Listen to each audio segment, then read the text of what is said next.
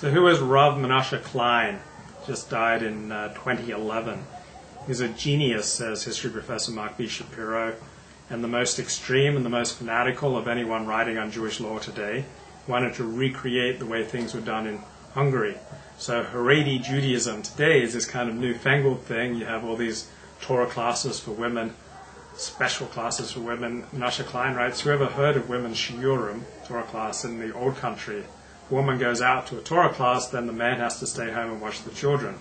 So Menashe Klein wants traditional Judaism the way Judaism was practiced in the past. So even the Haredim today, the ultra-Orthodox, come up with these new ideas.